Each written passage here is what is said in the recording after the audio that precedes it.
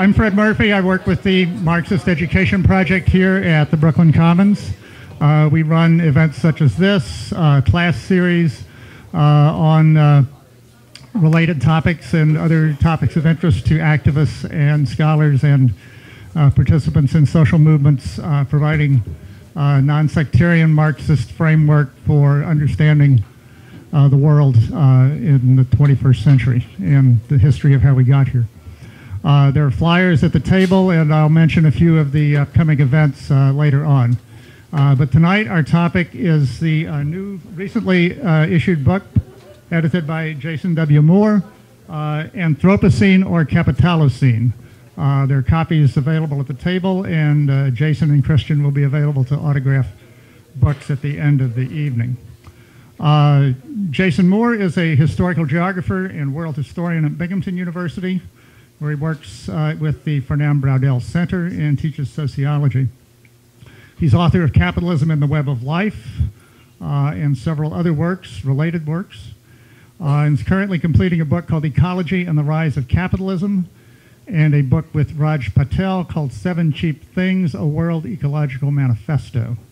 Uh, and many of his essays can be found on his website, www.jasonwmoore.com. Uh, Christian Parenti teaches at New York University in the Global Liberal Studies program, author most recently of Tropic of Chaos, Climate Change, and the New Geography of Violence. As a journalist, he reported from Afghanistan, Iraq, and parts of Africa, Asia, and Latin America, and has published in The Nation, Fortune, Nation, Fortune, London Review of Books, the New York Times, and many other publications. He has a PhD in sociology and geography from the London School of Economics. Uh, the format tonight will be uh, Jason will speak for about 20 minutes, then Christian for about 20 minutes. Then we'll uh, have a uh, kind of a conversation and dialogue here for a little bit, and then we'll throw it open to your questions and comments. Thank you very much. Jason W. Moore. Thank you so much, Fred, and thank you, uh, uh, Fred and Steve and everyone else for making this happen tonight. It's a real honor to be here. And thank you to my comrade Christian for uh, being part of this dialogue. Uh, as you can see from the book, uh, uh Christian's own uh, pioneering thinking about the environmental making state, which you'll talk more about, has been quite inspiring to me and is part of the ongoing reinvention of Marxism and the critique of capitalism as a world ecology of power, capital, and nature. So we need to think about the Anthropocene, the age of man. Uh, the Anthropocene is the most influential, the most popular, and I think also the most dangerous environmentalist concept of our times. It isn't dangerous because it's insights about the biosphere, it, because its insights about state shifts and tipping points in the planetary system are wrong. That is all well and good. It is dangerous because, in its popular incarnation, the Anthropocene, like so much of environmentalist thought, has been a way to avoid naming the system. It is dangerous because it tells us that humanity and nature are separate. This prevents us from seeing how power and capital and domination have real histories that have been and are driving planetary life to the present state shift. This book is not a challenge to the Anthropocene in a strict sense. This strict sense is the geological Anthropocene. This is the terrain of geologists and Earth system scientists and their recent recommendation of stratigraphic marker, markers for identifying the Anthropocene. Chicken bones, plastics, nuclear testing. These are the residues, the achievements of capitalist civilization that will be visible to geologists millions of years from now. This book is a challenge to the popular Anthropocene. And the popular Anthropocene poses several daunting questions. What is the character of 21st century ecological crisis? When and where did that crisis originate? What forces drive that crisis? That conversation, except for a brief moment in the 1970s, was marginal until the coming of the popular Anthropocene. So while it is a way of avoiding naming the system and, and, a way of engaging the question of capitalism, it also poses powerful and important questions that we as radicals need to deal with the popular Anthropocene has worked not only because it can be used to make many arguments, but also because it fits very comfortably with a view of population, environment, and history governed by food and resource use, and abstracted from class, from empire, from capitalism, from systems of racialized and gendered domination. If that sounds neo-Malthusian, it is. Not for its emphasis on population, but for ignoring what Marx calls capitalism's special laws of population, special laws, historical laws of population for human beings, but also for non-human life as well. We can think of the 60 billion animals, non-human animals slaughtered in the meat industrial complex every year as one instance of that. But in Anthropocenic thought, history is the first casualty. Like Malthus in the 18th century, its major exponents substitute an abstract time for history and evacuate the very historical perspectives that is necessary to explain those famous hockey stick charts. If you imagine the CO2 and other charts that go like this and then spike up, the Anthropocene can identify those charts, can identify what's going on. It cannot explain the how and the where and the relations of power and domination and capital that are behind this. So the Capitalocene is precisely not an argument about geological history, although that's part of the argument. But the, for starters, the age of capital necessarily precedes and precipitates the geological signals necessary to discern a new geological era. So that era, the Anthropocene, will certainly outlast capitalism by a great many millennia, indeed thousands of millennia the biospheric conditions of the ongoing planetary state shift, which is a really dry and euphemistic word for what the Earth system scientists then describe as irreversible and abrupt changes in the conditions of life on planet Earth. These will shape the conditions of human organization of whatever mode of production, whatever kind of civilization historical system comes next. The Capitalocene is an argument about thinking ecological crisis. It is a conversation about geohistory, though, rather than geological history, although, of course, the two are related. The Capitalocene challenges the popular Anthropocene's two century model of modernity, a model premised on the Anglo-centric and racist and, and uh, uh, sort of colonial blind history of the Industrial Revolution, a techno and resource determinist model of the modern world that, uh, in fact, leaves us ill equipped to understand how capitalism has been so dynamic by constructing systems of racial and gender and class inequality that have cheapened the work and the lives of humans and the rest of nature for five centuries. So the origins of modern ecological crisis and therefore of capitalism cannot be reduced to England, to the 19th century, to coal, or to the steam engine. The Anthropocene's historical myopia, moreover, seems to be immanent to an intellectual culture. In this respect, the Capitalocene challenges not just the Earth system scientists, but many in the humanities and social scientists who embrace the Anthropocene as a means of refusing to name the system. So, in this sense, the popular Anthropocene is but the latest of a long series of environmental concepts whose function is to deny the multi species violence and inequality of capitalism and to assert that the problems created by capital are the responsibility of all humans. This is an old capitalist trick. We fucked it up. Now it's your responsibility to fix it. so, the politics of the Anthropocene, though, are even worse because they are an anti-politics in the in the phrase in the sense of James Ferguson, the great uh, critic of development. It is resolutely committed to the erasure of capitalism and, and to the promotion of a technocentric, technocratic vista of geomanagerialism and the erasure of popular politics. And if you look at the writings of Earth system scientists, they are dismissive of the possibilities for democratic and popular change to deal with the problems of climate change. And of course, climate change is simply one of a series of terrifying shifts in the world today. So the Anthropocene poses the question of nature society dualism, but can't resolve it. It thinks 21st century problems with 16th century ideas. And a new synthesis would be premised on rethinking capitalism and work and life and power in the web of life, not related to an abstract nature out there, but always already co produced in the web of life. And so it's now commonplace to invoke, and quite properly, system change, not climate change. Indeed. But we have to take care with how we think that system, part of system change. A critique of capitalism that accepts its self definition as a market or a social system abstracted from the web of life will not guide us towards liberation, will not guide us towards sustainability. We should be, therefore be wary of views of capitalism reduced to their economic and social moments, the practice of what Donna Haraway calls human exemptionalism. Because exemptionalisms and exceptionalisms are always dangerous, especially when it comes to thinking about humanity with the uppercase H. That's a real abstraction, a real cultural force in our world that is deeply and intimately and powerfully involved in colonial structures of racial and gendered violence.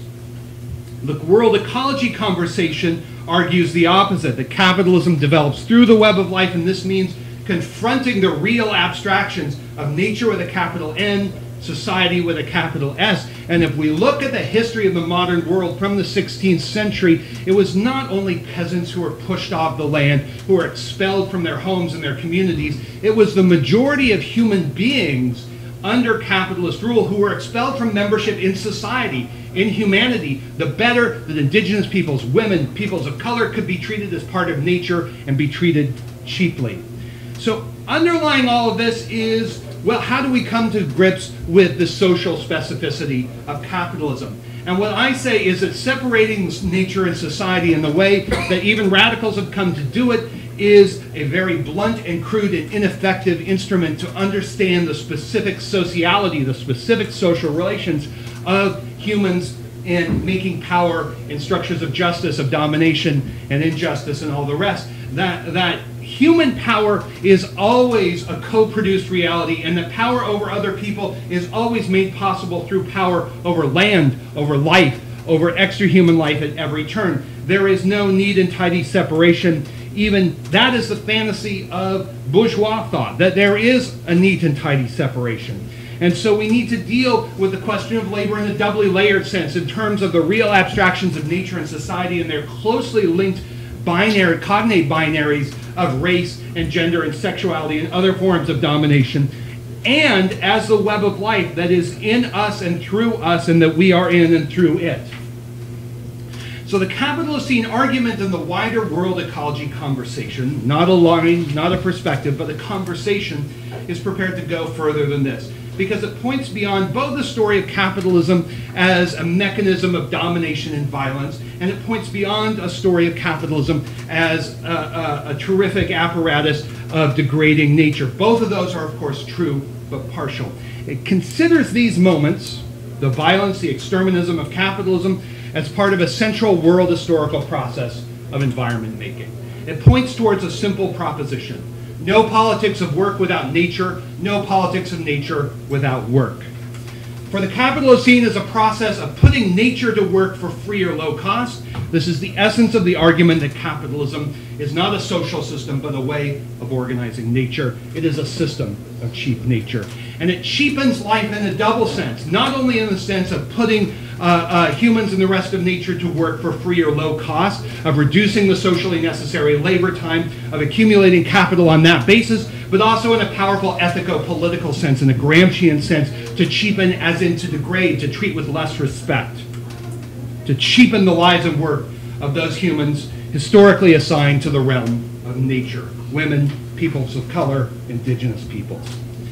Now, how do we wrap this up? Well, Many of us in this room are probably familiar with this famous statement that comes up very often from Marx. Labor is not the source of all wealth. Nature is just as much the source of use value, he says. But strangely enough, the last part of the sentence is often removed. We forget this. What does he say? He says, labor itself is only the manifestation of a force of nature, human labor power. This wasn't a one-off. Marx says this again and again and again throughout the Grundrisse and Capital and other texts.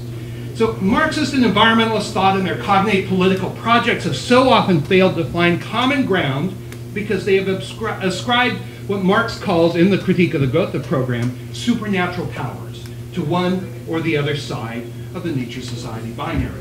This is wilderness fundamentalism, preservation, protectionism. That's the sacred object for environmentalist thought, and it's work and labor justice, social justice on the other side for radical movements. So politically, of course, this leaves us where we see we see the contradictions playing out, both in hopeful and uh, discouraging ways today around the conflict of the North Dakota Access Pipeline.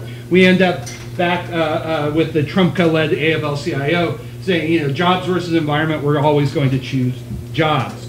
Now, whether or not red and green movements can find enough common ground in, an, in a short enough amount of time to avert the worst of global warming is uncertain. The stagnation of labor productivity growth in capitalism since the 1970s will probably intensify the jobs environment conflict, even if it re reveals the practical bankruptcy of the capitalist growth model. And reading Marx, of course, alas, will not magically resolve the conflict, if only. But a radically ecologized and feminized reading of capitalism's history of both exploitation of wage workers and the appropriation of the unpaid work of, in Maria Mies's phrase, women, nature, and colonies, this offers a way to begin a conversation, to begin a thinking process, a collective thinking process through which work eh, can begin to occupy a different thinking in both green and red thought. That is, we can look at this tripartite organization of work under capitalism, of paid work, wage work, unpaid human work, and the unpaid work of extra-human natures, without, however, collapsing the distinctiveness of any of these. So in this light, Marx may offer a way to cut through the mystifications of the labor-nature dichotomy.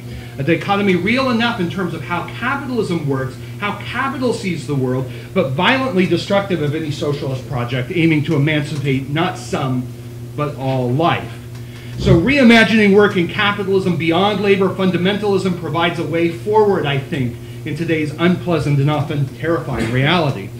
A revolutionary vision must be able to articulate a politics that links the crisis of the biosphere and the crisis of productive and reproductive work. A revolutionary politics of labor that cannot speak to the questions of precarious and dangerous work, of surplus humanity, of racialized, gendered, and sexualized violence will be doomed to failure. A revolutionary labor politics unable to speak to the ongoing crisis of planetary life and the ongoing state shift will be equally doomed. So the time has come for a conversation about how to forge a radical vision that takes as its premise the organic whole of life and biosphere, production and reproduction, and which takes as, as its goal the emancipation not of some life, but of all life. Thank you.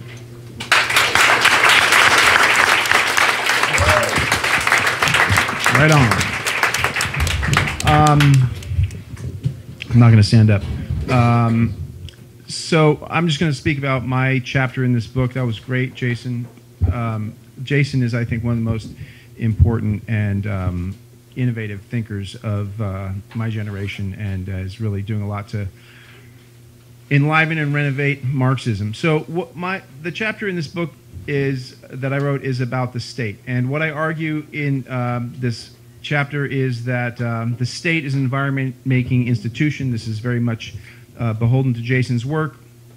And um, part of the argument at a sort of a basic political level is to say, look, this new role that government has to take on if we are to confront the climate crisis and the ecological crisis in general, be that in the form of reform politics or in the form of socialism. I mean, what you know, what what will socialism? What would socialism look like? It would look like a very robust state and even interim reforms have to involve a renovation of the state and its reimposition uh, of power on, uh, over capital on the economy. So part of my argument is is that this is actually not a new role, that this is actually inherent to what the capitalist state does, for better and for worse. And that the question is not to get the state to be an environment making institution, but to recognize that it is and to change the nature of its environment making.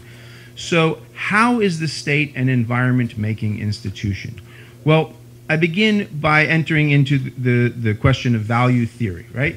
And taking up where, where, where Jason mentioned about uh, Marx's quote in the Gotha program about how Labor is not the only source of wealth. Nature is just as much a source of use values as labor, and is surely use values that constitute economic wealth.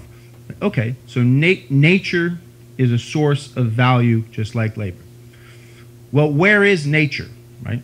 Um, on the surface of the earth, in the form of trees, animals, uh, waterfalls. He has a, a famous passage about the, the power of waterfalls, kind of the rents captured from, from, from you know, uh, waterfalls, sort of locational advantage, uh, which Jason would, you know, fits into Jason's notions of sort of like the, the, the four cheaps, that, which are central to his uh, book, Capitalism in the Web of Life.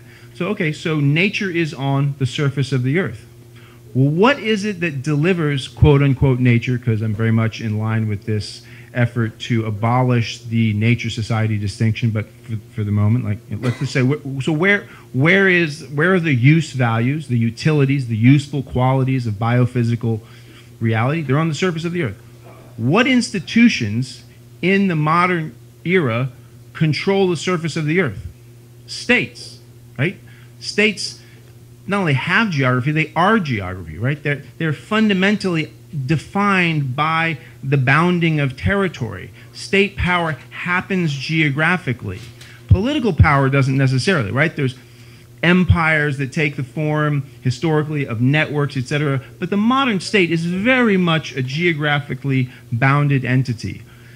So then the question is looking at well, how does the state, through its ultimate control of territory through violence, uh, crystallized as you know legal regimes. How does it deliver these use values to production, like the the strength of wood that capital needs as a use value to process through production to turn into a table which is sold for exchange values, for the social power that is money, that can be anything, right? H- how does capital get that? How does one capitalist get those trees and not another capitalist? Through property regimes which are enforced by states. Some people have the right to these trees and cut them down in process, and others don't. And the ultimate arbiter of that in a situation that's not a failed state and an outlaw situation is, is government, is the state. So that's the basic entry point to realize like, wait a minute, okay, so the state, because it is geographic, is also inherently environmental, and all of its policies, in that they relate to how social relations unfold across space, are inherently environmental. More specifically, states, if you get into their specific histories, are all about actually transforming landscapes so as to facilitate and conjure forth the forces of capitalism. And so the rest of the essay is uh, a, a, description of how capitalism was born in America, essentially, how it was midwived, or how it was banged out politically with violence and law by the state. And in particular, by Alexander Hamilton, who uh, is the sort of the mastermind of the hidden developmentalist state in America. And he writes this report in 1791, the report on manufactures, which no one reads even now in the Hamiltonian moment, and, no one reads it because it's oh, it's I, I, haven't I can't stand musicals, but whatever. Maybe it's in there, but I, I, from what I've heard, it's not in there. Uh, why does no one read it? Because you know they love Hamilton when he's talking about finance and banks, but because it opens with an attack on Adam Smith. It opens with a repudiation of laissez faire economics and then proceeds to articulate a post colonial defensive strategy. And Hamilton's vision is fundamentally it's militaristic and nationalist.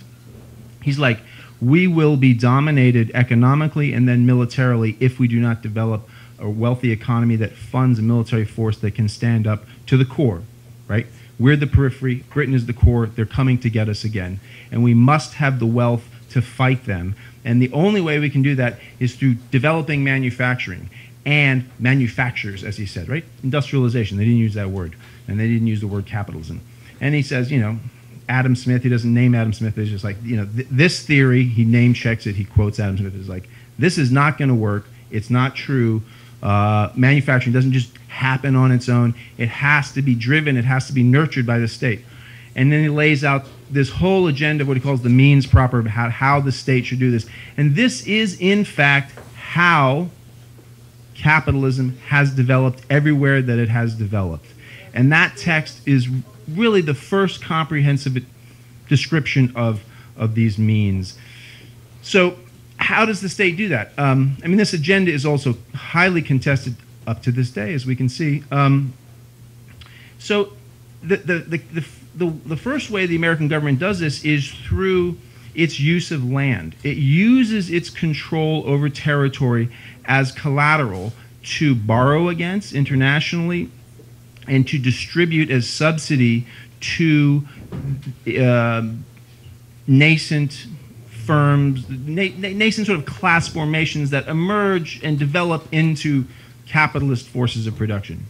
And uh, the example I use mostly in this essay is the Erie Canal, because uh, long story short, sort of the Hamiltonian vision is defeated and hap- sort of progresses at the state level. So how was the Erie Canal built? It was it was built be- by uh, large gifts of federal land and water to the state of New York, and then the state of New York would then use these, and, and this establishes a pattern for development of railroads and also a whole kind of pattern for uh, public contracting that we still use today in many ways, whereby the state parceled out in, in alternate plots to private interests land that these contractors could then borrow against themselves and sell, raise money to then dig the canal. The canal is built essentially with this massive subsidies of cheap nature, right? Delivered not by just something or gathered up, delivered by the state and its violent legal control over territory.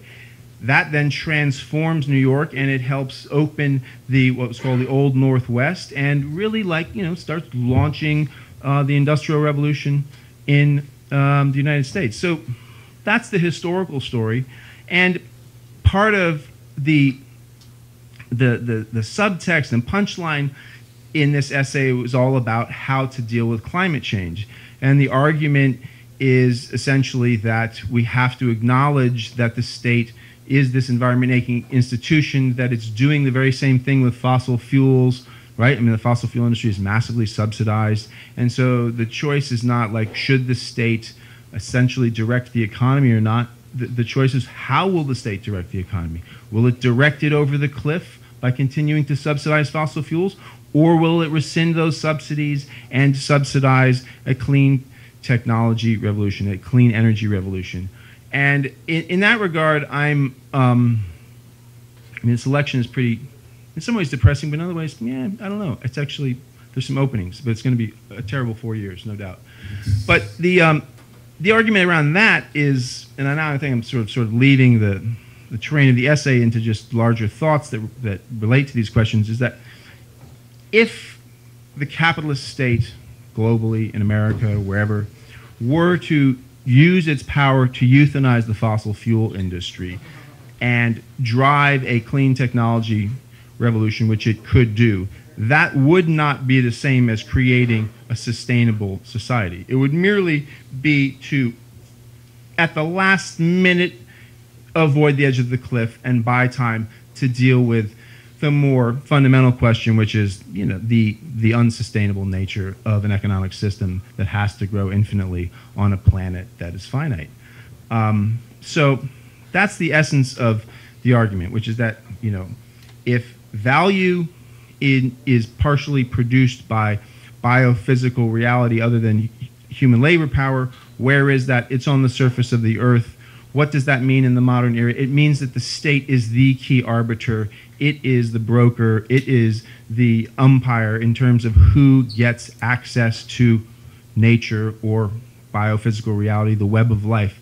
And this goes on whether we acknowledge it or not.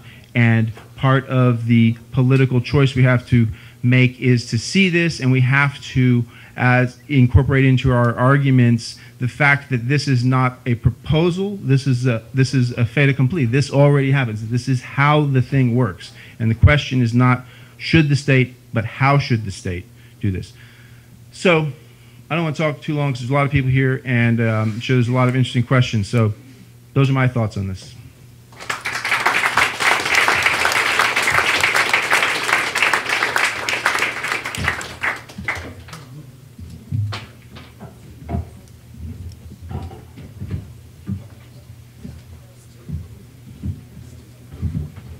Okay, thank you. Uh, I wanted to pose a couple of questions and encourage Jason and Christian to kind of dialogue or uh, discuss amongst themselves a little bit uh, some further uh, thoughts and amplifications. And then in about uh, 15, 20 minutes, we'll turn it over for your questions and comments. Uh, but first, I wonder if Jason could just maybe very quickly run down the rest of the book and the other contributors and how the whole thing kind of comes together or fits. Let's not miss anybody. the book is is is is is an ongoing conversation. is part is is eclectic. We have. Uh, uh, a, a wonderful kind of spoken word uh, essay by Donna Haraway, a great feminist theorist, uh, who who talks. Are we are we okay there? All right.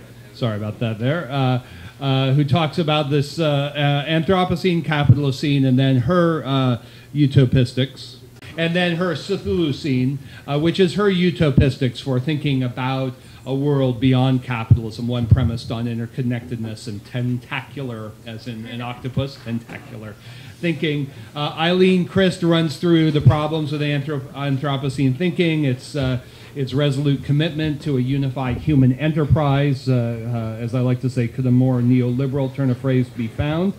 Um, Elmar Altvater asks us to think about the geomanagerial and technocratic bias, the anti political bias, really, of Anthropocene thinking and what it means that, that so many of their recommendations fall back on technical fixes bereft of any social transformation, geoengineering being only the most conspicuous. Uh, Justin McBrien has a uh, fantastic essay where he points out quite correctly that the Capitalocene is also a necrocene, an age of death, and that becomes increasingly activated in the course of capitalist development, especially after 1945. That uh, uh, capitalism not only brings an era of mass extinction, as we know, we are living through the sixth mass extinction of life on Earth, uh, but also implicitly, and this is my own riff, uh, suggests that extinction is too polite a term, that we should be talking about capitalism as a system of mass extermination and especially of intergenerational mass murder. And so those are some of the, uh, uh, the big themes that come up. And did I leave anyone out? and Dan Hartley, the, uh, who writes a brilliant essay asking us to think about culture and uh, uh, cultural fixes and, and the role of culture in uh, capitalism and in capitalism as environment making process. And that's hugely important because not just in Anthropocene thinking, but also on the left in terms of political economy thinking about environmentalism, about environmental change rather, there is a profound and I think unfortunate vulgar materialism in play that we have to take seriously uh, Raymond Williams' uh, uh, arguments of ideas of nature and that we've mixed our labor with the earth so much that we cannot draw back and separate the two out. That that is a material and symbolic process at once. And if we think about that, that's fundamental to Marxist thinking about political economy and the separation of, of, ex, of, of conception and execution in the labor process, but somehow that's been dropped from thinking about global environmental change. So we have to we have to be wary of a vulgar materialism, which I fear often comes uh, in through the back door. So, Jason and Christian, one uh, notion that's come up a couple of times tonight is cheap nature and the four cheaps. Uh, what are the four cheaps, and how does the state contribute to keeping them cheap or rise to the challenge of keeping them cheap? Well, and me- why is it important that they be cheap? Let me try an alley oop here. So let me. So for cheaps, the, the idea of, of capitalism as a system of cheap nature is essentially that every great wave of economic expansion of world accumulation must reset uh, the uh, uh, the cost of production for labor, food, energy, and raw materials. The four cheaps, and that means to increase the volume of those simultaneously reducing the price of those. So agricultural revolutions are a key example of that. More and more food produced with less and less labor power. Uh, that's that's central. So in that process, however, capital is rather powerless in terms of its capacity to reset the costs of production. It requires the state.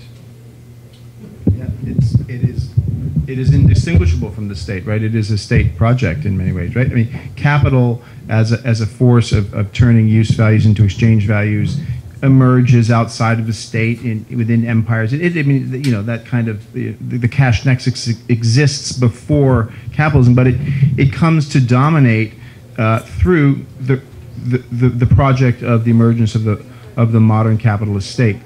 But in terms of the question of the four cheaps, I think this is a very important idea and very good. Um, but maybe because I'm some sort of um, I feel an obligation to sort of be a compulsive optimist because I'm ultimately very pessimistic.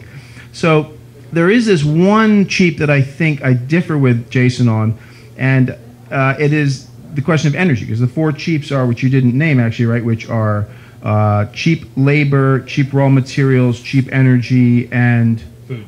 cheap food, right? Yeah. Um, so energy is actually potentially infinite, right? This came to me reading Bataille's great book, The Accursed Share, Volume One. I mean, Bataille is owned by the wrong side. All these, these cultural, um, sort of navel-gazing obscurantists love Bataille. But if you actually read The Accursed Share, it's one very Marxist, um, borderline Stalinist, I would say, in, on his chapter on the Soviet Union, and uh, there's a kind of you know beautiful materialism, and he opens with the discussion of the power of the sun, and you realize, yeah, this is like every day more energy hits the planet's surface than all of human civilization has used, right? So there's one cheap out there which is potentially infinite. And you could imagine, this is pitched at a very abstract level, you could imagine how the other cheaps, if their energy content grows and that energy is supplied by solar energy, could become cheaper, right? So you and others have written about the sort of the horizontal frontiers, the Americas, right? That's the original frontier that launches the development of capitalism. And then the vertical frontiers going into the ground for fossil fuels. But the vertical frontier might not be done, right? There's the other one going up and or you know receding what's coming down. Um, that would only happen, obviously, if the state directed policy in, in that way, uh, and, and the fundamental thing would have to be to, to confront the vested interests of the fossil fuel industry and use legal power to put them out of our misery.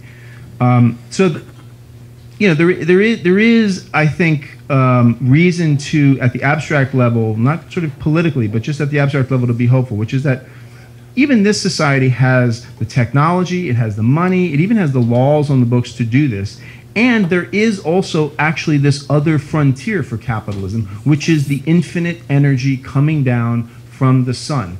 The problem is, it is politically incapable of doing that, partly because the leading sector, section of the rule, the, the leading ruling class globally, the American ruling class, is, as Doug Henwood says, you know, a, a, rotten social formation. And it's a rotten social formation because of its victories. It has won, it, it, beat the left internationally, it beat the left domestically, and at that point, you know, it fell apart because the ruling class is like any other class, right? Marx says the working class is a class in itself just because of its relationship to the means of production, but how does it become a class for itself through class struggle, right? Well, so too for the ruling class, right? They're a class in themselves because they own the means of production. Well, how do they become a class for themselves? How do they develop ruling class consciousness? How do they organize? How do they develop? How do they push their agenda? By being threatened, right?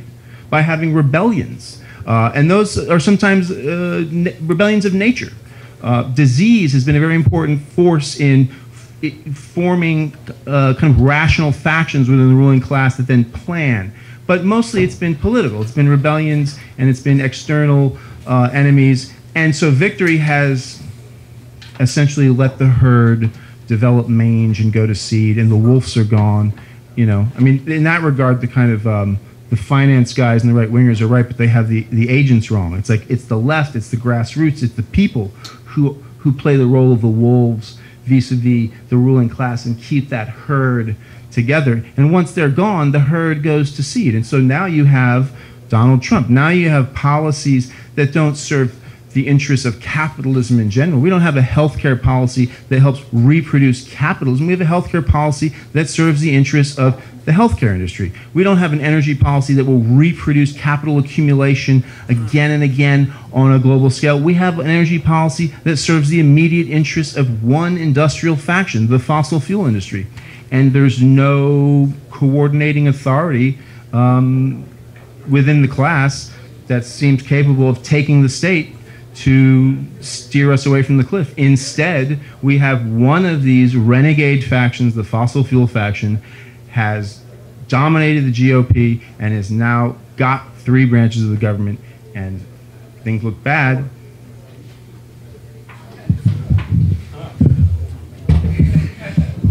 So it sounds as though our national state in the U.S. at least is turning into, and not only in the U.S., but is turning away from being an environment making state to an environment destroying state. Uh, would you go that far? No, I mean, if, if we're to use, if we're, if we're to, to use, you know, Jason's, if we're to follow Jason's urging of, of, you know, stepping away, taking this as a serious political project that we, there are problems associated with, with continually dividing reality into society and nature, right?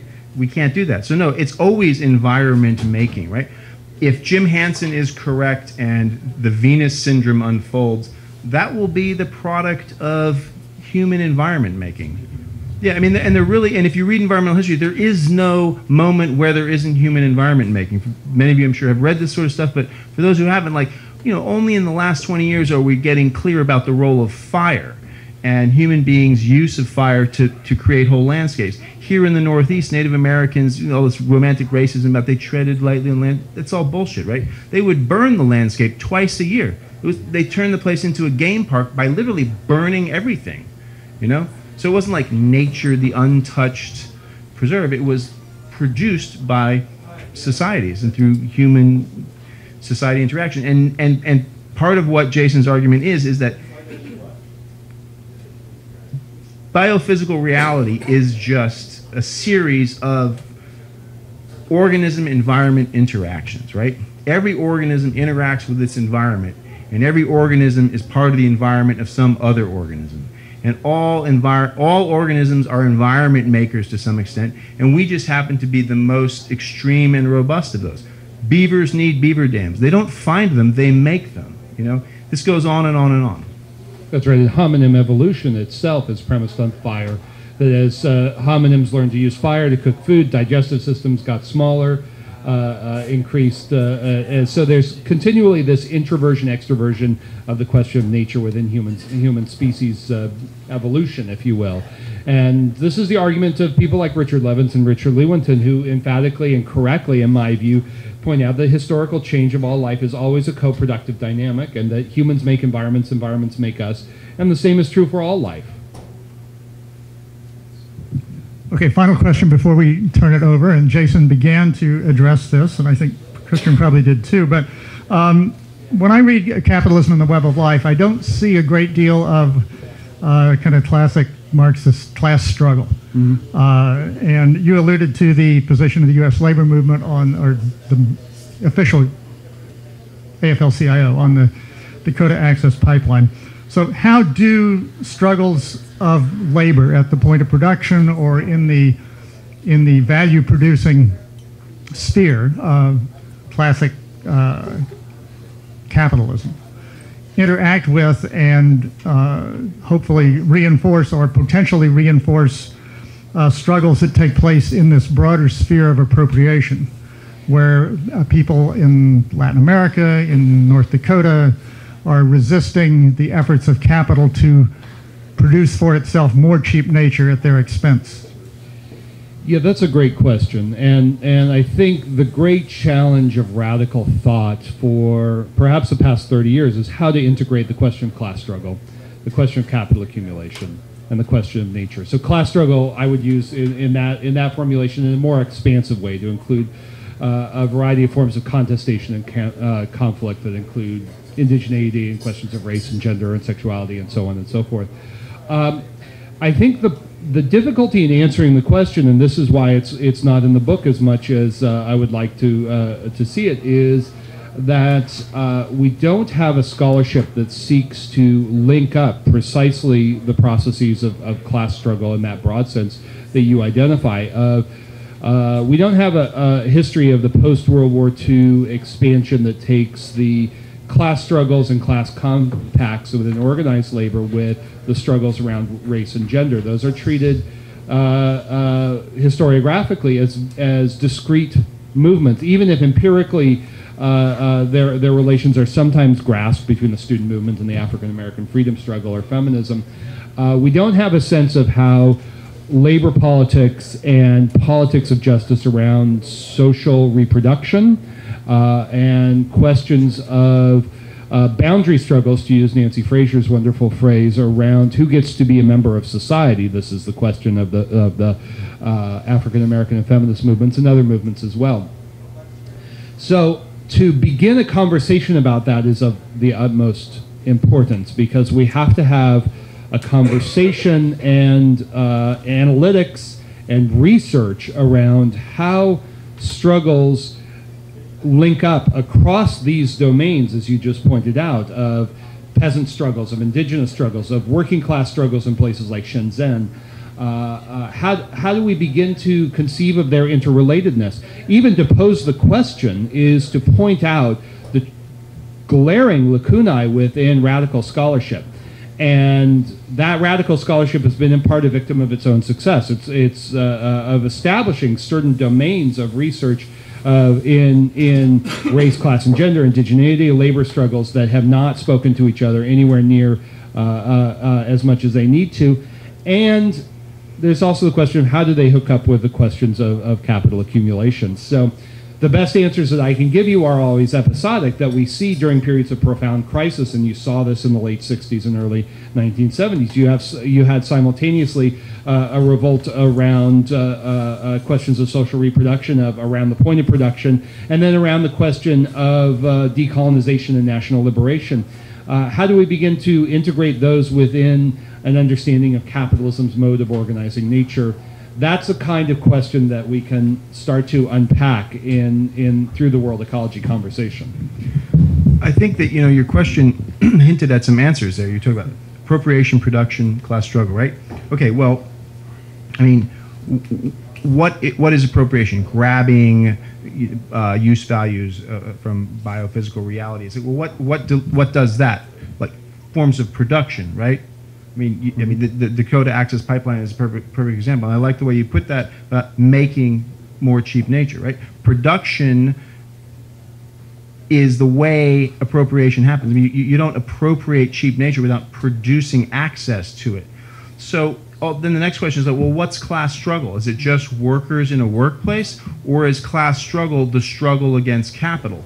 And if you read class struggle as the struggle against capital, then the Dakota Access Pipeline struggle, regardless of what anyone there thinks, is class struggle, right? It is people resisting the production slash appropriation of cheap nature in the interest of capital accumulation. And they're doing that by putting their bodies on the line, by pub- publicity, by suing, et cetera, et cetera. And what's the kind of like physical mechanism is the price point right?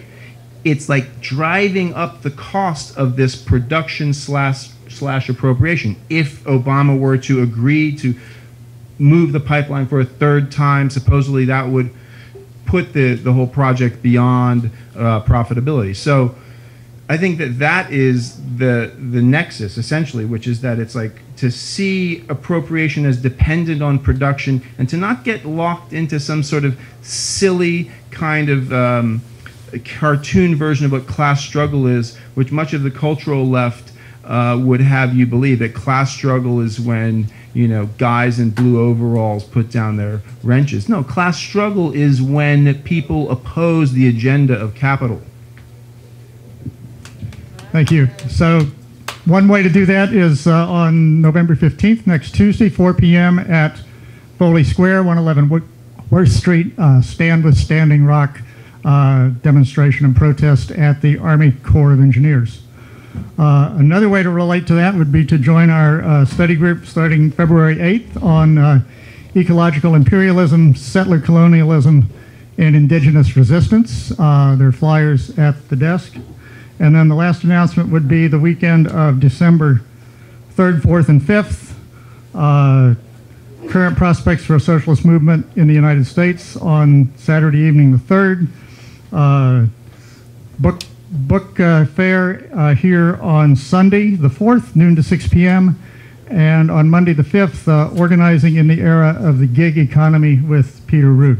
And again, there are flyers at the desk. There are also books on sale, and I'm sure our authors would be happy to autograph them for you. Uh, so I think Michael is going to uh, I'm going to facilitate, facilitate this with, with the, the with the mic. So speak into the mic as you pose your question so it can be captured for the folks uh, watching online. So who has a question out here? Michael, Ah, oh wait, Melissa, and then, uh, I'm sorry, I have to go first because I have to go home. But uh, I first want to say that the Web of Life uh, book by Jason Moore is, um, I run this place. And I have had many, many events here over the last six years.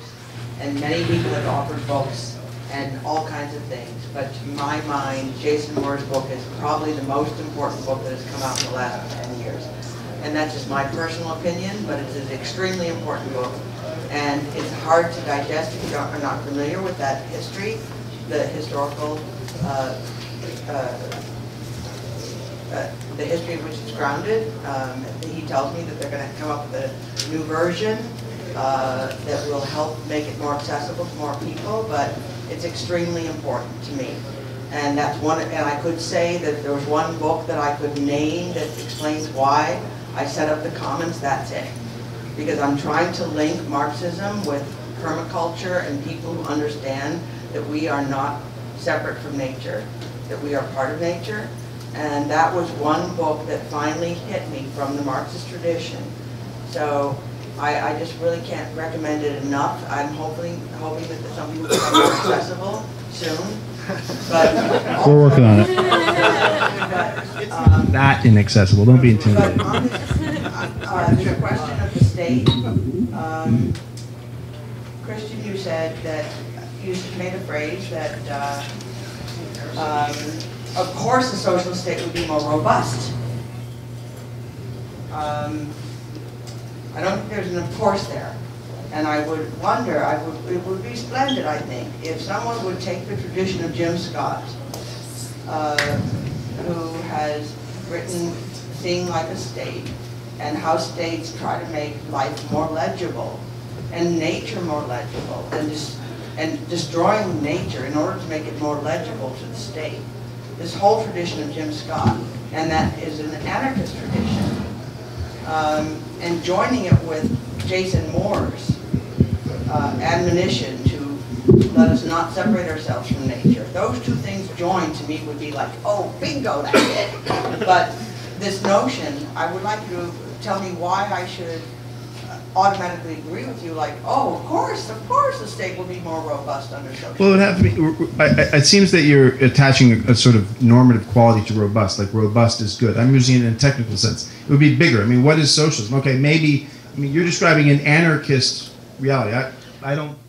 That's not what I was describing. I was describing it kind of like a standard view of socialism and uh, a, a modern a modern society with authority. Uh, you know, all that ugly stuff we want to deny, but uh, even the worst socialist states are robust in that they get up in your face, and in the James Scott sense, are like all over the place. What I'm talking about is robust is capacity to do, to execute. Now that might be horrible stuff, or it might be very progressive. But the point is, I, I, re- I reject a version of socialism which is like, oh, there's a momentary dictatorship of the proletariat, and then the state just dissolves away. It's like, no, I, I don't buy that. I really don't buy that. I don't think you have an urbanized society, this the level of enemy. You, you, you uh, wipe out um, uh, private property relations, and then human beings are just nice to each other. It's it that that, that is like uh, that is a position that is ignorant of human history. That is like we have dangerous capacities as groups, as individuals, to think that a socialist future, which right now seems very, very impossible and far away, would automatically be uh, harmonious as I think ridiculous. So I think there would be laws, there would be states, uh, there would be violence implicit in that, and there would be technological organization and management. And the question would be, would it be good or would it be bad? Well, exactly. And, and Melissa, thank you very much for those kind words. Uh, uh, it's a real honor. Uh, I think also that we have this issue. One of the one of the things I find so inspiring about Christian's arguments is that he is prepared to go into this messy, sometimes ugly space of actually existing politics to think about what are we going to do about the climate emergency without resorting to an emergency politics. I think that's a real danger of saying catastrophe is that ultimately it can be a preparation for an authoritarian state solution. And on the other other side, on the left, you have figures like Bellamy Foster, who have no real political program. They have a revolution or die.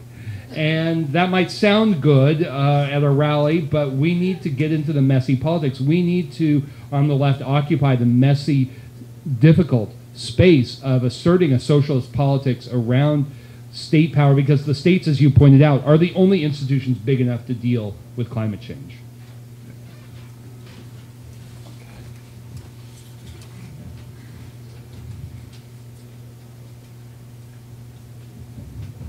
Um, Christian, you, uh, my name is Jenny Brown, I'm with National Women's. Um, you, uh, getting into the uh, messy space of actual politics, when you talked about the election, you said you saw Well, the opening I see, I mean, is just that the Democratic Party of the DLC tradition is totally corrupt and rotten to the core, and it's good that it has been smashed open. I mean, I'm not going to say it's over, right? I'm not going to make the mistake of people in 2008 with the, with the, with the financial crash are like, this is the end of neoliberalism. It's like, no, it wasn't. And this is not the end of the DLC. They're like right on it, right? They're like, it's the fault of the white working class. All these people are racist. And that needs to be pushed back against. These people are, not to put too fine a point on it, total fuck ups and incompetence in their own terms. I had the uh, dubious honor last night of being on a panel with someone from the Center for American Progress who was one of their kind of defense hawk types. And it was like incredible how bland and banal and empty most of what she said was. It was not, the conversation was not like clashing, it was like trying to figure out what she was saying. Because her comments were stuff like, militaries are made for fighting wars. The country's going through lots of changes. Like, this is the level that these people actually think at, right? As witnessed by the fact we saw this thing, like, Hillary Clinton outspent Trump four to one, and you know, like how she she lost areas that Obama had won by 20 points. Like she basically lost Youngstown. He won that by 20 points in 2012. Uh, she lost, you know, these these are the white working class areas that are guilty of racism, but they voted for a black president twice. Bernie, Bernie, Bernie beat her by 18 points in Wisconsin. She didn't go there to uh, campaign, and she lost it. Uh, you know, on and on and on. F- uh, 500,000 black women didn't vote. Uh, you know, there's like, you know, uh, a, a million point five white men seem to have like not voted for the Democratic Party. It's not just the, that there's this surge of people for the Republican Party, right? The whole voter turnout is down, and for the, the Democrats it's down because it's like, what was there to vote for? These people had more money than God. They had every computer you could want, and they completely lost it in their own terms. The pundit class, I mean, this is incredible. This is incredible. And they need to be punished. They need to be exposed. They need to be, they, they need to be disciplined for this. So that's the only opening. In terms of the actual policy, I mean, the Trump administration is going to be horrible, right? I mean, and it, but but then on the other hand, you know, um, you know, part of me is thinking, oh, this is horrible. They're going to uh, to try and get rid of the EPA. And on the other hand, I was like, you know, what did Obama do in you know in the bigger picture? It doesn't matter if you you sort of slightly slowed the rate of uh, carbon loading of the atmosphere. It only matters if you avoid the worst tipping points. And the Obama administration basically inherited from the Bush administration a situation that, that, that should have forced them to act. And that was the results of Massachusetts versus EPA, which was a Supreme Court case that said the, the, the Environmental Protection Agency must regulate greenhouse gas emissions. That case took 10 years to get through the Supreme Court, and it said now the government must regulate the greenhouse gas emissions. We have forced the amendment of this 1970 Act. The Obama administration dragged its heels, and like the, the finally towards the end, they issued one rule, which was okay. There's these strict uh, carbon limits, uh, emissions limits for new coal-fired power plants. That wasn't going to happen. The, the, the fracking revolution alone had taken off these these things off the, the board. So they, they you know they they did all that, and then people are like he's going to open Trump. He's going to open federal lands to the oil industry. It's like Obama opened the Arctic. He opened the West Coast. He opened the East Coast. I mean, what what are we? You know, Soprano was like, you know, I don't know, like there was there, there was there was a lot of backlash. There was a lot of heroic struggle around those um, infrastructure projects under the Obama era. But I think that if if Trump comes out swinging on that front, we're going to see a level of resistance that we haven't before. Now, I don't want to fall into one of these kind of like after Hitler us type mistakes that the Communist Party in Germany made, right?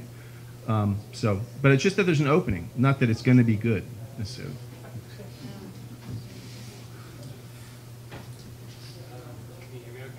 No, you have to speak loud. Can you hear me now? I don't think it's on. Is it green? Very, Shout it then. if I really shout Good now. I have a little bit of a cold, so this is an extra struggle for me. Um, thank you so much. I thought this was really fascinating. Um, uh, my name is Johnny. I'm a historian, a grad student in history of science at Yale. Um, I have two questions, one about cheapness and one about nature. Um, and in, in some way, the, the link is actually to get away from uh, purely looking at the state, I guess, in the organization of these kinds of questions. Um, so first question about cheapness. Um, there's, a, there's a sense I get from this that if we just paid full cost, then things would be okay. If we pay wages for housework, if we have full cost accounting somehow in how we manage uh, our economy, then stuff will be um, somehow uh, accounted for in a positive sense. And I wondered if you could develop a little bit more. I, I assume you don't think this, right? Um, to be clear. So I wondered if you could say a little bit more about the organization, say, of money or value in a sort of non-capitalist organization of nature which seems to be a sort of crucial question, uh, money being in some sense a sort of um, distributive, um, question of debt, and how in fact debt relations between classes and nature and the state in some sense could be reconfigured. Um, second question about uh, nature, I wonder where are the scientists in some of these questions? It seems the question of who speaks for nature and therefore what nature, what form nature takes is a, a fundamental question of knowledge and the organization of that knowledge.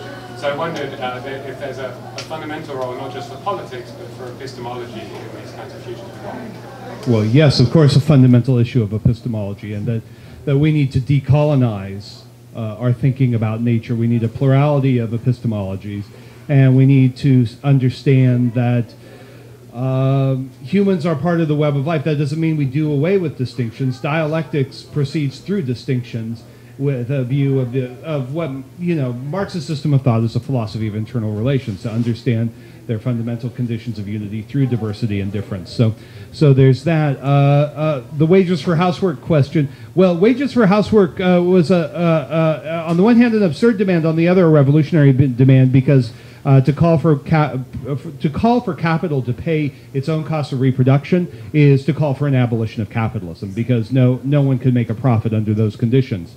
Uh, you can uh, so that's uh, that's central. So no, clearly. Uh, uh, I mean, there's an interesting way to take the argument. Well, if, if everything was paid on its own terms, everything would be okay. In a fundamentally different value system, then we would have a different valuation, not just a valuation in that double register that I talked about. A valuation that uh, an alternative valuation would have not only a different way of understanding what's valuable and worthwhile, not socially necessary labor time, but would also be have a fundamentally different ethico-political system of valuing. Uh, in my view, life and the politics of life and the politics of reproduction. Now, putting that in those general terms, of course, Uh, uh, doesn't do a lot, but I think it, it allows for a different kind of conversation because we're dealing with very deeply complex ontological, epistemological, and practical pol- political issues. So, for a start, thanks. Were you going to speak to that, Christian? Okay. All right. The one thing I would say, if it's not clear, it's like I mean, the point about the, the four cheaps is that like profit is the unpaid use values, right? That's like if you you know if if labor were paid given the full amount of exchange value produced, there would be no profit. And similarly, the you know the four cheap. So that that's you know that's that's where profit comes from in in Jason's formation of this. So the suggestion of like paying the proper price it suggests a kind of a politics of sort of knob adjusting and, and this sort of like technocratic socially responsible investment and that as a political process leaving aside the larger kind of fundamental problems of value is just not going to work you know there needs to be something more robust i think Because the condition of some work being valued under capitalism is that most work is not. Most work is devalued. Nash, you're up. Just speak directly into it, uh, loud. Read, speak directly into it. You have to hold it right into your, If that's supposed to be, if that's supposed to be connecting to speakers, it doesn't sound like it's connecting to speakers. It's connected to the public webcast. Okay, so it's for, it's, it's not, it's not, we're not supposed to hear it. It's supposed to be recorded. yes, yes? Most this was public webcast. So just a couple of, uh, uh, couple of comments and then a question. Uh, I mean, the first place I want to thank Jason. Mean, it's a wonderful uh, shifting of the paradigms, absolutely crucial and very uh, central in the enterprise that you're constructing. Um, and it's uh, central also, like in the sense in which you are evoking a longue durée uh, attempt to uh, conceptualize the ecological question. It's very novel it's, it's much appreciated. Uh, having said that, out, having said that, I have a couple of questions. Um, I mean, one is that uh, uh, I mean, like if you look at the ways in which our own current um, current geopolitical conjuncture has been is being shaped. Um, do we not see a, uh, a shift in the center of capital accumulation towards the East Asian region? Um, and if that is the case, and it is the case, uh, since that is the case, how does one approach the question of the Capitalocene in the way in which you like to formulate it um, under these kinds of circumstances? I mean, what does it mean to think in terms of uh, an ecological crisis at on a global level, given that the center of capital accumulation is shifting towards, has shifted towards the East Asian region? Uh, I mean, I don't see any mention of that in these kind, uh, I mean, in your address, so I was wondering if you had a response for that. That's one thing. Uh, the, the other is in response to an earlier question that was uh, framed to you in terms of the relative absence of class struggles in your Web of Life, a book that I've, unfortunately I've not read, but I'll most certainly read.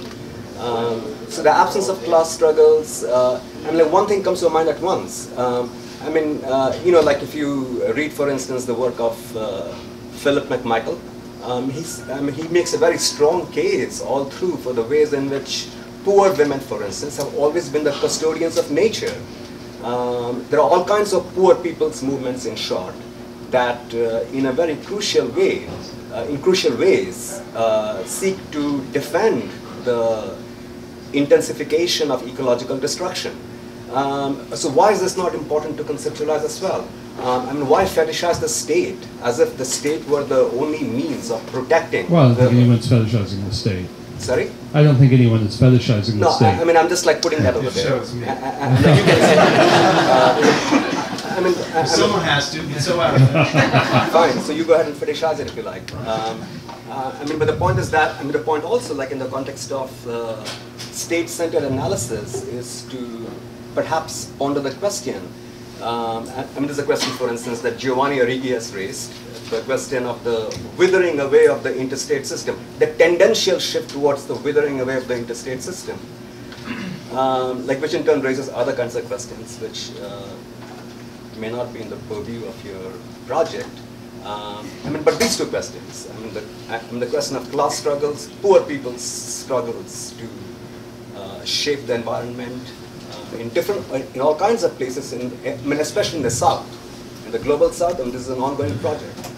Um, and second, uh, the context of the emergence of uh, East Asia as the most dynamic center of the global economy. And how does one conceptualize the Capitalocene under these circumstances? Well, gee, that's a great question. So the rise of China, how do we put that into play? Well, uh, you can you can see that the rise of China. My uh, my colleague Alvin Camba has done a great job uh, looking at how the the Chinese project in from the late 70s all the way through to the early 2000s was indeed premised on a very explicit state strategy of resetting the four cheaps of cheap labor, food, energy, and raw materials, and that, that all those started to show definite signs of wear uh, from two, 2003 on. And we're seeing this around the questions of the uh, relative end, I'll underscore relative end of, of cheap labor in China uh, for reasons of class struggle, but not only for reasons of class struggle. Uh, of course, you're right about the, the role of movements of uh, the environmentalism of the poor, to use Martinez Alier's uh, phrase without endorsing his neo Malthusianism. Yes, of course, environmental justice movements across the global south have, have been of central importance and uh, are central, centrally important to uh, finding, you know, securing some means of livelihood and some uh, measure of uh, uh, capacity to, to, sustain life in many areas of the South. So yes, that's hugely important. And class struggle is in the book. It's just the, the book is written in the model of Harvey and Arrighi and yes, Marx. It's an immanent critique of capital. So one, as Giovanni would always, uh, I'm sure he told you as well as me, we can't do everything at once. Remember the long 20th century? Why didn't you talk about class struggle, Giovanni? Well, and he had a very long answer. And of course, he, he took up those questions brilliantly elsewhere. And uh, so we have to look at these conversations and books as part of an ongoing evolution of uh, uh, ideas. So, uh, in terms of how China is the, the last stand of the Capitalocene in, in the, the narrative that you give us, uh, and that, that uh, China has handled brilliantly uh, the the challenges of maintaining cheap natures in various ways, especially with food policy. But uh, distinct from the Americans, the British, and the Dutch before then, has pioneered no agricultural revolution that not only promises to produce more food with less calories, indeed quite the opposite in, in the recent decade, but it has also failed to provide an agricultural model for the whole world. So uh, that would be uh, the beginning of a response to your wonderful uh, and erudite question. And, you know, the other, the, I think there's one has to ask the question about like, you know, what do we mean by capital accumulation, right? Do we mean capital accumulation in the sense of building up capital stock, and what about the question of you know the class project of seizing surplus? And if if we misrecognize the deindustrialization of the United States, which is a, a collapse of, of, of, a type of capital accumulation in the U.S. for profitability, that's wrong, right? The U.S. ruling class has restored profitability through accumulation by dispossession, through its capture through finance of surplus produced elsewhere. So I sensed in your question, I don't think you meant this, but possibly we're, we're misrecognizing the class relations for the built environment. And it's like the, the, the core capitalist classes are doing very well. They are capturing more than their share uh, of, of surplus produced globally. So I think that's part. I think that's part of the part of the answer. Okay, but okay, but I think so. That that's part. I think that's part of like what what the meaning what the meaning of capital accumulation in East Asia is it, is it doesn't necessarily mean a decline of profit capture for Western ruling classes. I did not say that. Okay, I, am not saying you said it, but that was implied. And I mean, there's also the question of Africa and all this, right? I mean, what what what is China's solution to the, the, the limits of the four cheaps? The continent of Africa, right? Uh, there's there's an official. The, the kind of relationship that Western Europe and the US Oh, of course not. Of course not. Yes, of course not. Because it's based on it's based on actual capital accumulation and actual capture. It's it's based on forms of production that it's it's yes, I agree with you. It's it's graced it's based on on forms of production. Can I finish? It's based on forms of production that access the appropriation of cheap nature unlike Western capitalists, which just through finance tried to capture flows of surplus, right? But that is that is China's right now spatial fix, right? And and there are officials on record who are saying, what do we do about the, the environmental crisis here? We export one third of our industrial base and at least 100 million people. And then and they had the, and they had the whole going out strategy. This is an official strategy after 2005. It's like direct foreign investment from China into Latin America and Africa in response to, among other things, the environmental crisis in China.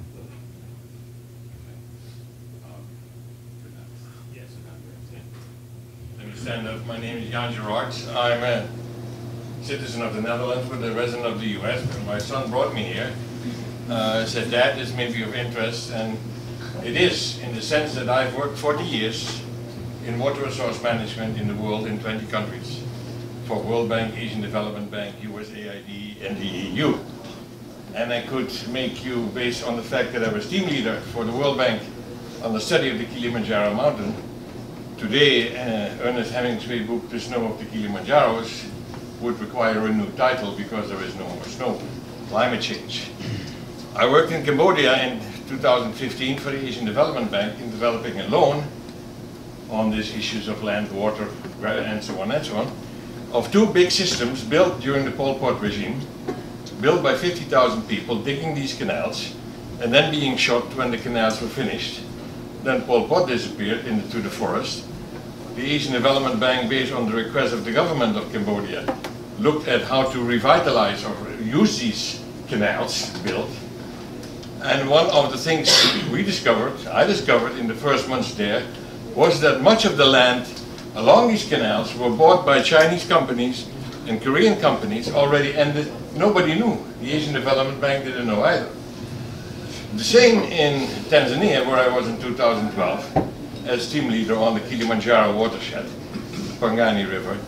First of all, you don't get data, and what data you find out yourself by visiting the area is that British companies producing sugar under a parastatal agreement with the government own all the land and all the water, and there were 80,000 farmers who had no water and totally destructive land. And if you talk to park rangers, the animals are disappearing at a rate, which we know here, of 60-70% is already gone.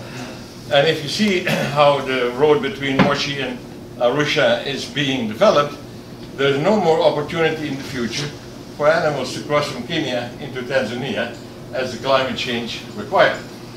Now climate change is something that has three major elements. It's drought management, it's flood management, and it is using the time of the calendar of the year.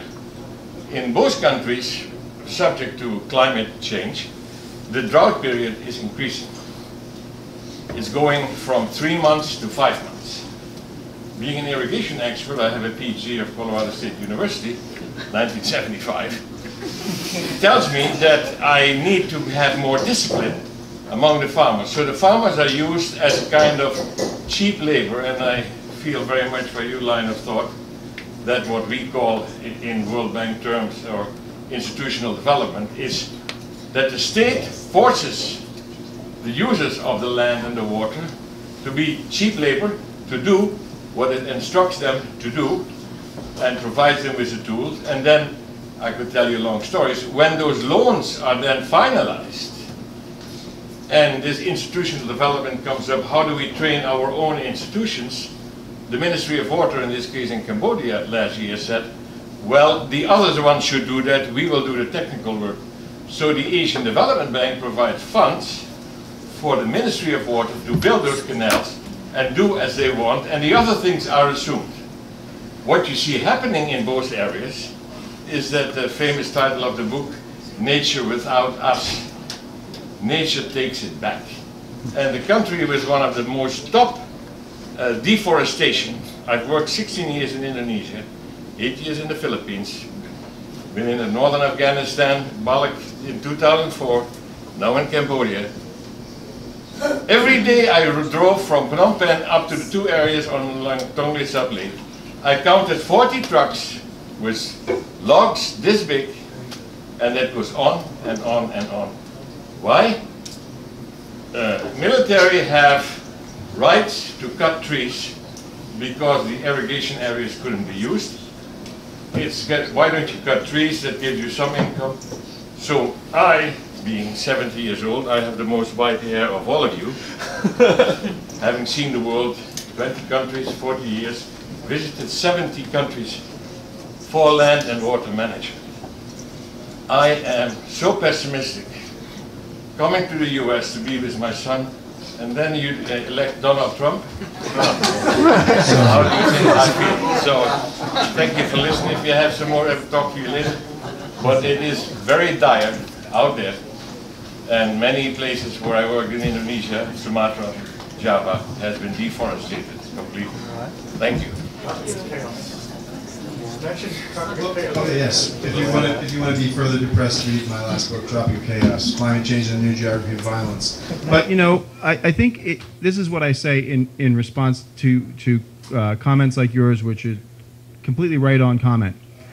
the easy intellectual case to make is that it's all over, that, that human civilization, due to capitalism, has blown through the limits and created climate tipping points that will lead to the extinction of all life on Earth in the form of the Venus syndrome that Hansen lays out in his book, right? That's the easy case to make, and it, it's easy because that's that's probably what's going to happen in many ways. However, hold on.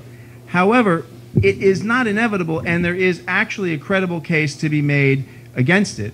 And the more difficult and the more important intellectual work is to make a credible case as to how that's not going to happen. And I think that can be done. And it has to do with this kind of ruthless, pragmatic, uh, you know, approach to what has to happen now, what has to happen in the future, realizing, you know, what what the real politics, real environmental politics would look like. And just to repeat what I said something earlier, right? You know, this society, uh, the United States, definitely has the money and it definitely has the technology and it actually has the laws right now. Trump might eliminate the EPA, but you know, all of the the, the components for an energy transition which would not reconcile human civilization with the limits of the planet, but would buy time. All of that is in place, and that's usually not pointed out. And if we realize that, like, okay, wait a minute, it, this is this is genuinely, it's not just a, a nice, hopey, optimistic thing to say. It's a political process. It's like, no, it's actually it is because there aren't financial, you know, I mean, all, all the, the pieces we need are there, and um, if you know people could recognize that, they would probably not be as pessimistic. So. It's not that pessimism isn't rational, it's just that it's not. I have one line on that. It depends, in my eyes, also very much on the multilateral institutions like World Bank of what they are willing to finance. If they are not willing to finance the formation of states, it also depends on states, right? I mean, look at how look at how China has, uh, you know, outspent, outlent the World Bank in Africa, right? Sir, I, I wanted to ask. Uh, you haven't mentioned, and I'm curious, what, what is the role of the transnational corporation? Uh, the corporation that essentially, I think, takes uh, away a sense of a person's identity with a nation and makes it, in fact, an identity with a transnational capitalist entity. Uh, what is the role of that kind of group, you know, through structural adjustment that tries to, in fact, eliminate government and is creating, it seems to me, a national or international governance that, in fact, tries to eliminate the state. Uh, what's, what is the role in relation to the issues you've talked about? Well, know. I guess I see it a bit differently. I think that the, the transnational states are, by and large, uh, supported, facilitated, the transnational corporations, rather, sorry, are, are facilitated by uh, uh, rival uh, imperial, different imperial uh, states. So uh, uh, I think I, I think that that we're looking at a world that looks more like Lenin than Kautsky's vision of what's going on. That that in fact we're seeing the intensification of rivalries and potential rivalries between the various states and the transnational corporations headquartered in them.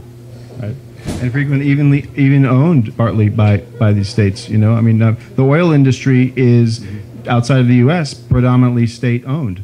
Um, yeah, and you know, I mean, Thomas Friedman is what he is, but he does have that great quote, which is like, you know, when um, McDonald's needs support, uh, you know, it goes doesn't go to McDonnell Douglas, it goes to the U.S. government. You know, he's got this whole list of it's like right, like that. You know, there, there isn't this escape in the moment of crisis. Corporations don't escape the state, right? When it when things are going well, they resist uh, regulation, et cetera, et cetera. But when there's a collapse, a crisis, as in 2008 they run back to the apron of the state and the state bails them out and the state subsidizes and the state resets prices buys low sells back um, high you know i mean that it's there's no escape from the state despite the rhetoric of globalization and the end of the state and i, I mean that's that's part of what i'm pushing back against is this the, the, this naturalization of the decline of the state. I don't know how many times I've heard people be like, "Well, states." I mean, it's like people have no. They've never. They've never. They've never even looked into what the political economy and history, economic history of states are. And if you start doing that, you realize no, like there is no beyond the state for capital. And that's that gets back to that the point about value and and uh, property regimes, right? It's like what determines property regimes? It's states, fundamentally. Mitch. Let me get this to you, Mitch. And how should we? Should we give these people? We're losing our audience here. I think people are getting time. I think we're scheduled tomorrow. Oh, okay. Right. So what does all this mean for what we radicals do?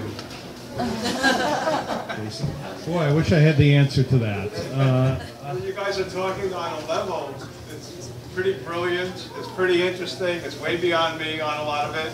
I have no idea what it means, what the implications are. Um, I know,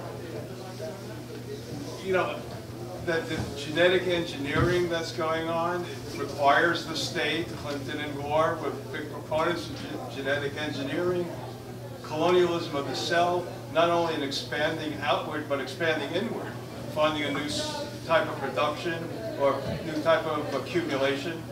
Um, I know that took, in terms of solar energy, Exxon's been buying up patents, every patent they could get on solar energy since past 30 years. So what is it, what does it mean in terms of, again, what we should be doing that's different if we adopt the- your analysis, and we, what does it mean that we would be doing differently than what we're already doing? Well, that's a great question, and and my answer is not going to be very satisfying to you for this reason, because we are, and this is a word that's overused, and I don't like it, but I'm going to use it anyway. There is a paradigm shift going on that that uh, where we can now see that just like the forest and the farm are parts of environment, so is the factory, so is the office, so is the city in which we live. And once we begin to look at those connections, we start to link the politics of work and the politics of life and the politics of housing and the politics of, you know, air quality and of water quality and of food and of food justice and who gets food and what kinds of food. That that we're we're now being able to ask questions and make political demands, for instance, around uh, food food justice, for instance, that are not resolvable through the old productivist uh, solutions. GMOs are a great example of that. The net contribution of GMOs to agricultural productivity in the world has been zilch. In fact, the agricultural productivity growth has continued to falter.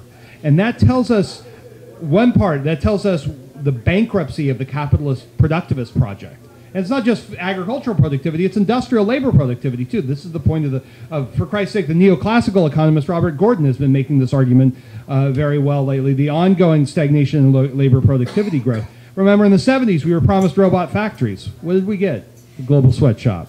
All right, so we, on the other side, we have food justice, food sovereignty movements, which, for all their problems, and there are lots of problems, say that food as uh, nutrition, food as democracy, food as right to cultural determination are unthinkable except in relation to each other.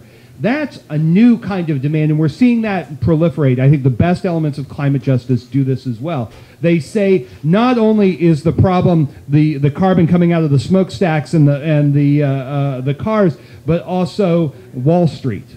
That if we want to understand that that that industrialization is giving us CO2 emissions, we also have to understand Wall Street as a way of organizing nature, of derivatives and speculation as a way of organizing nature.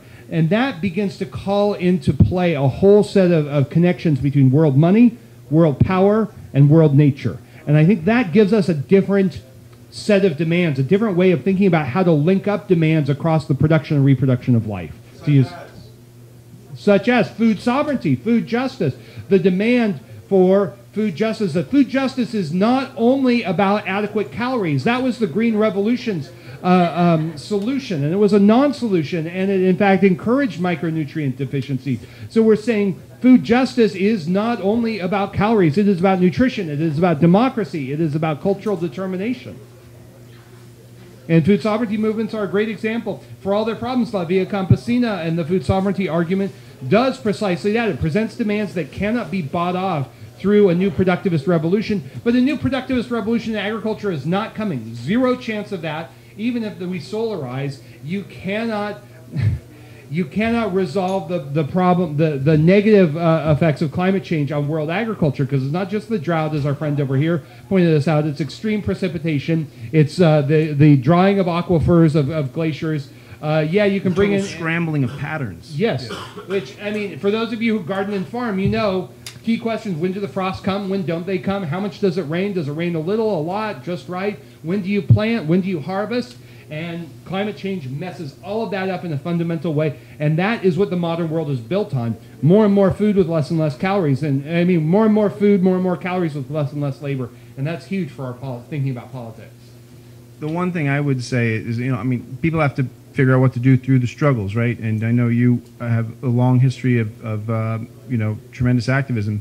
I mean, the one thing I think that we have to get serious with under uh, President Trump is, you know, big movements that overlook little differences. And the cultural campus left, not to sound like, you know, one of these um, deplorable types, but you know, I mean, there there, real, there really is a problem with a, a kind of cargo cult retreat from aiming big and you know being willing to work with people that you're not going to agree with on lots of different issues around the issues that you do agree with. Like there is a there's a Christian fundamentalist environmental element, right? If we were serious about this, we would be working with these people. We would, you know, be pushing them on their other politics that are horrible around, you know, uh, reproductive rights, et cetera, et cetera. But, but we would not, you know, refuse to collaborate with people who don't agree on everything because if that, if the- the price of admission is that everybody has to agree on every little thing, there's not going to be a huge mass movement. It's just not going to happen. Thank you, thank you, everyone. You done? We're not finished, I was, that was just, uh, uh, there's a few more comments. All right, we got a little more time here. Wonderful. And thanks for doing what you do. Jill Stein was here last week, by the way, and she's green energy. And I want to thank people like her and Ralph Nader's out there. What, what social entrepreneurial companies would you say we should look to invest in and make sure that we, when they produce a product like this, a new thing coming out with solar panels that look like roofs, that are in the making, just make sure that they continue to get the green light so that the, so that, so solar, solar energy can be used. I don't know. That's a very specific question. I don't know. I don't know what companies you should invest But in. can we just point out that all big energy transitions in world history have been backed by the state? So I think this is Christian's point about solarization, even in a bourgeois sense, that you know, let's get the state to bankroll that in the same way that it bankrolled the, the, the Texas oil fields and the Eisenhower Interstate and the and the railroads before that. Uh, if that's I mean, there are all sorts of contradictions in there, and it makes me uncomfortable to say that. But That's we do indeed It's need okay. to find messy politics to Yeah. deal with the climate emergency that aren't authoritarian politics. I mean, I actually I don't put much stock in social entrepreneurship. I actually think it's highly problematic. It's sort of you know it, it confuses people, um, and that main that you know you're if you want to make some money, if you got a little money and you want to invest in something, that that's a question of like I don't know what firm you do, but like where are we going to invest our money is not how an energy transition would happen. That would be at the level of state policy, as Jason was just saying. And uh, one of the key things would be like, what does the government consume, right? Uh, public sector is a huge part of the economy. If the state committed to buying electric vehicles and and uh, clean energy for its buildings, that would create economies of scale that would push the private sector to build out these infrastructures, et cetera, et cetera. So, I mean, that's the, the, the, the transition is at that level, not at like where we put our money. And, and, and the whole social entrepreneurship, corporate social responsibility discourse is by and large a bullshit discourse. Um, and if you get into that literature, you realize it's really thin in terms of facts and ground tr- truthing these examples. I've done a little bit of this as a journalist, uh, looking into like you know the sort of the the, the, the, the response to child labor and chocolate. I mean, it's, it's a level of just shambolic fraud that's comical. So go to, go to where there are some responsible people who are taking charge. Where are they? Where are we? If we're not, if we don't exist, we got a problem. Yeah. Well, the, the, the problem is that they are that all entrepreneurial activity effectively is governed by the law of value through principles of shareholder value, and so you're disciplined by Goldman Sachs essentially. Uh, but there's but also let's not fool ourselves that the problems of the problems of CO2 emissions are not just that of transport and industry. Taken together, forestry, which is largely forest clearing, and agriculture, is the largest contributor to uh, greenhouse gas emissions. And so we do have to put food and agriculture at the center as uh, because food and agriculture can not only stop emitting CO2 emissions, but become a net sink for CO2 concentrations. And so we are going to have to rethink fundamentally our relationship with food and agriculture.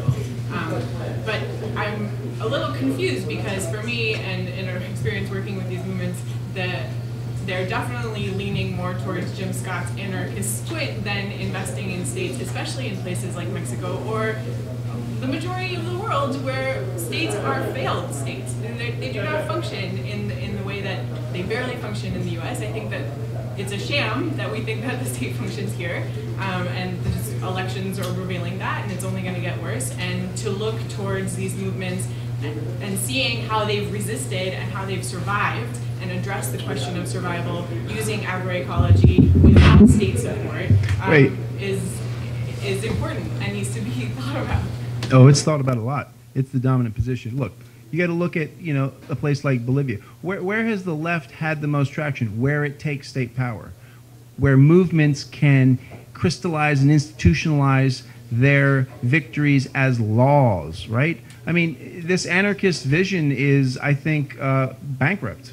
Um, It's not a vision, it's a squint. You have to look at symbi- we have to think about agroecology as symbiosis, thinking, creating. No, I know that, and and we have to have this scale up through state policies. It, ca- it has to go beyond. It has to go beyond. It has to go beyond boutique projects. I mean, this is like you know, this is the problem. I'm sorry. It, this this is why. This is why.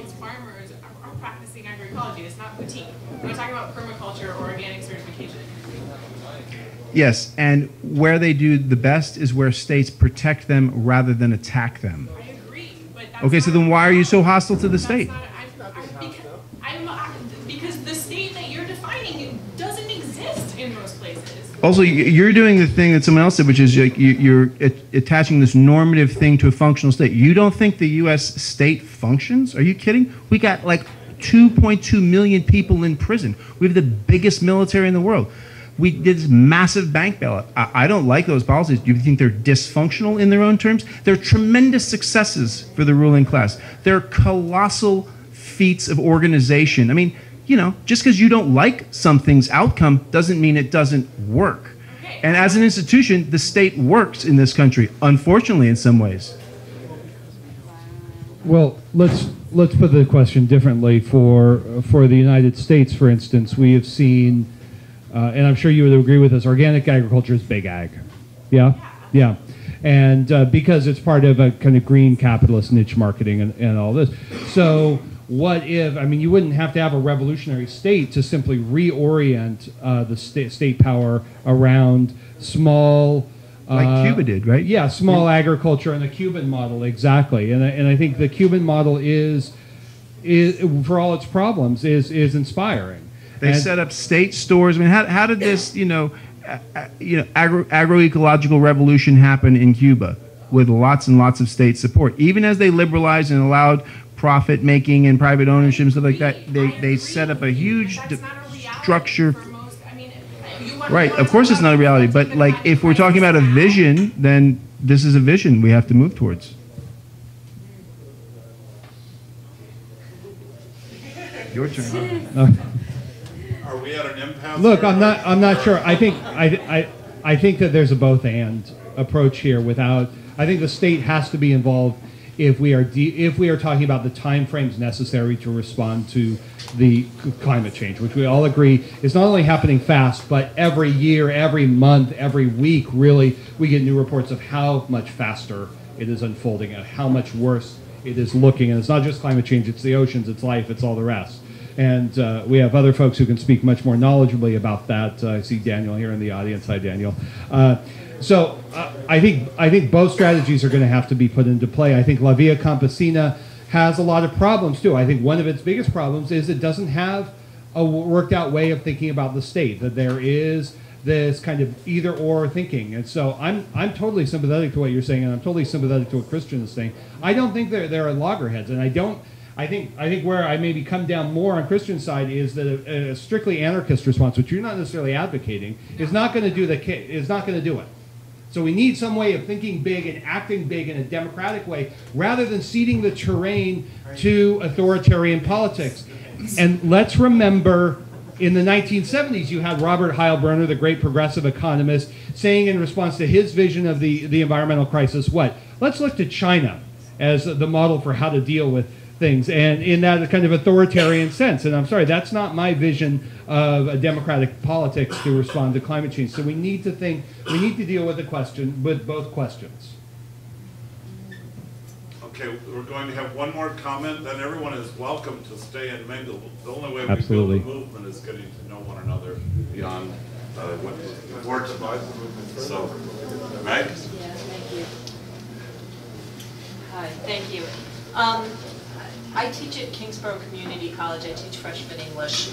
And uh, my course, I, we read Jane Jacobs' The Nature of Economies in the class. And uh, I actually heard about this event from one of my students uh, who was very much a fan of your book, Professor Moore. And um, I I'm curious about the first thing you said in your comments about the, the need to name the system, right? So actually, that's what happened in, in the class. You know, we're talking about why the media presents jobs and an ecological standpoint as being mutually exclusive. I mean, that is my first paper, is what is the relationship between economy and ecology. And it's a challenging essay for a lot of my students.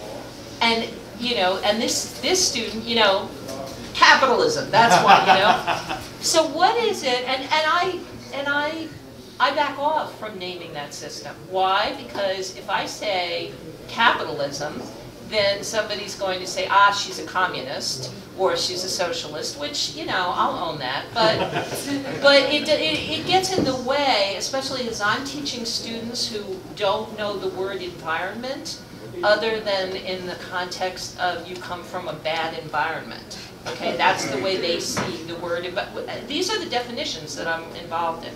So I'm really talking like from sort of, you know, a humanities language-based question. Like for me, that the, starting at the conversation at let's name this, I'm totally on board with the relationship between humans and nature and you know all of that stuff. And and I've done a lot of environmental history, but and I also understand that that class struggle is at the heart of the you know the environmental movement.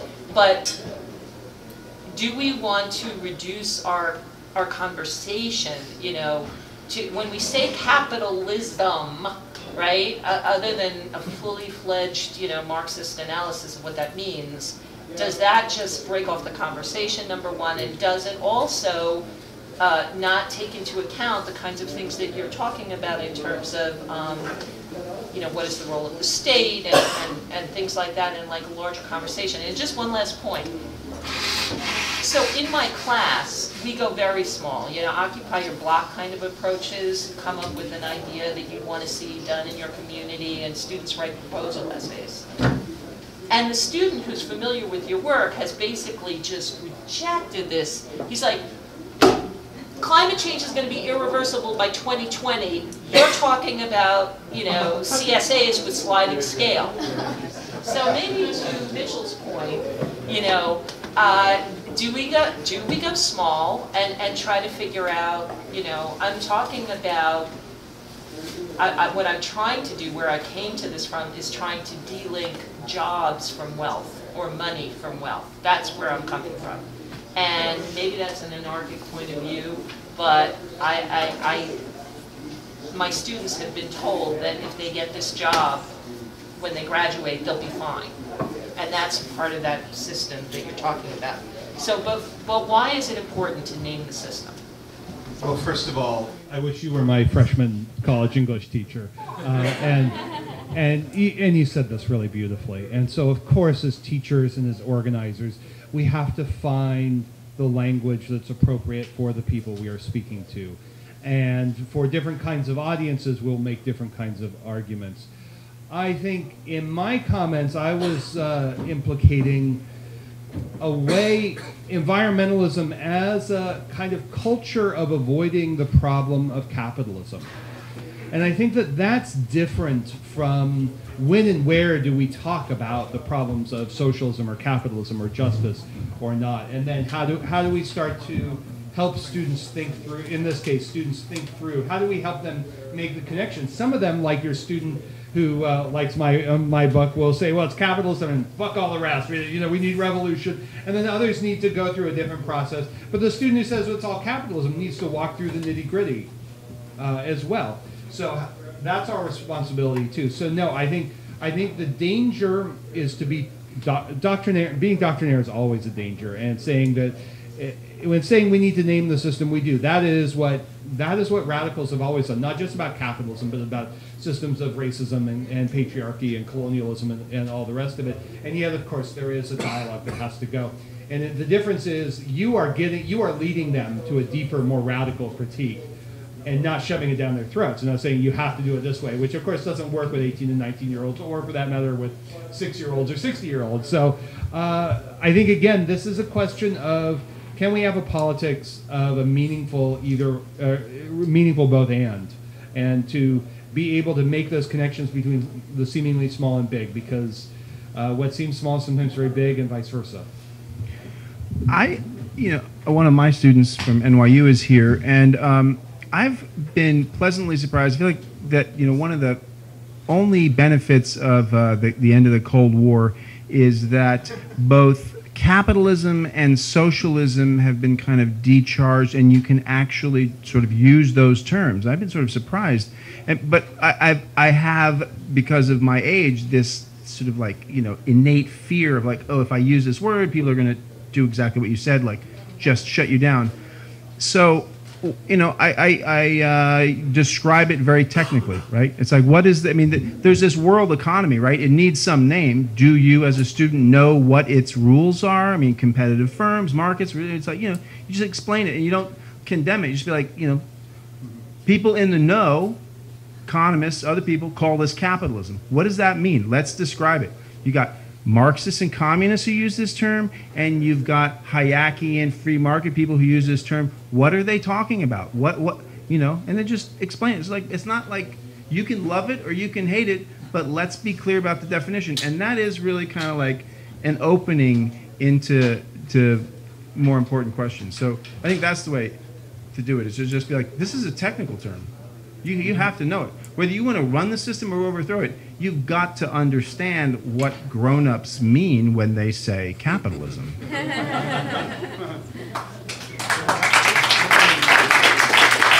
right. Thank you, guys. Thank you.